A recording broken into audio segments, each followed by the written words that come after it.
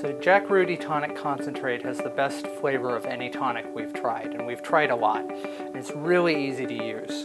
You just uh, mix two ounces of gin with three quarters of an ounce of the tonic. Add ice, stir,